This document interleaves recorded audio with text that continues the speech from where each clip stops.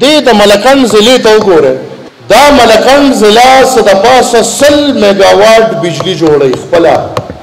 یک سو اکیس مېګاواټ بجلي ملکنډ خپله جوړوي او دا تش یک سو اکیس ملکنډ جوړوي، دغسې پښتونخوا خاوره شپږ زره مېګاواټ بجلي جوړوي، شپږ زره مېګاواټ بجلي! ارزان ترینه جوړی پنجاب بجلی جوړی په ګیس پنجاب بجلی جوړی سولر پنجاب ایل پی جی بار لرا غواړي بجلی په جوړی منګ له خدای قدرتي وبرا کړی دی او په داسې طریقې را کړی دی چې هغه نه بجلی جوړیږي منګ په پښتونخوا چې کومه بجلی جوړیږي دا غي نن سبا خرچه یو روپۍ یونټ ته د خبره ته سوچو کې موږ بجلی جوړو په یو روپې یونټ زمونږ بجلی ټوله ځي پنجاب ته لاهور ته او لاهور نه واپس راځي هغه ته موږ په پنځوس روپې یونټ خرڅېږي نن صاحبان لګیا دي ډسکو زیادوي دا څنګه چې زمونږ پسکو دا دفتر دا بجلی یادوي چې دا ناکام شو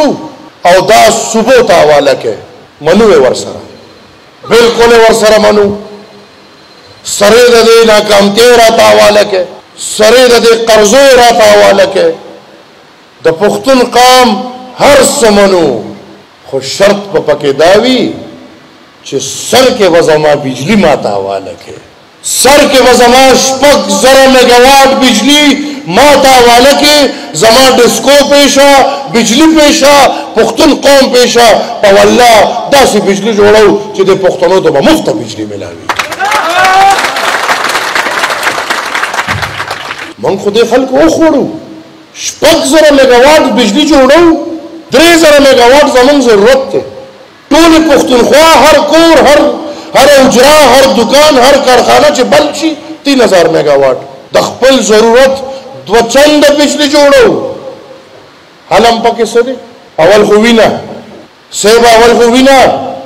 بیا چې رام شو نو اول د درو کې په یو تار را رواني بیا کله په دوو کې راشي په یو کې ني سازي بل رامې را سره کوي او بیا بل چې راشي نو خدای شته چې به پچل نه پیږي د پښتون قوم د یو ترجمان په حیثیت دا ورسره منم چې بالکل ډیولوشن پکار دی اتلسم عیني ترمیم کم چې د نن نه تقریبا دیارلس کاله مخکې کامیاب شوی دی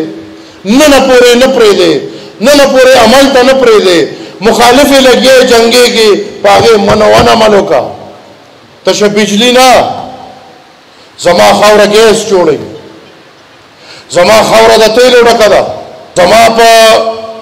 سواد په غرونو کې کرومایټ دی زما د باجوړ په غرونو کې نیپرایټ دی زما د وزیرستان پورې خاوره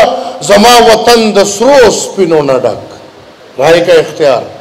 دا خو درته زه د لومړۍ ورځ نه زما پلار زما نیکه زما قر نیکه چغې وایي او بیا د ولي خان بابا خبره کوو والیم دي چغې ډېرې مو والي دي